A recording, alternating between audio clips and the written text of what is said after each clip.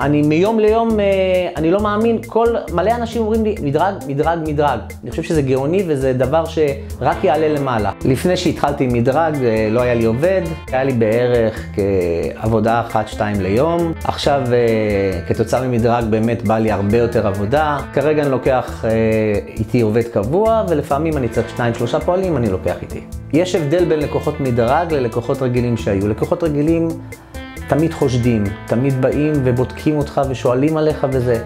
מבחינת מדרג של לקוחות באים, הם אה, קודם כל רואים את החוות דעת, רואים את הסרטון הקודם שיש לי, אז הם כבר חצי, 80 אחוז נעולים שהם רוצים אותך.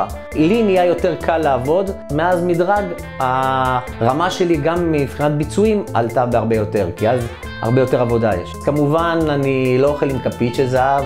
או שלא אוכל אה, קוויאר, אבל ברגע שיש עבודה יותר, אז מן הסתם אתה מרשה קצת יותר לצאת לבילויים, קצת יותר חופשים.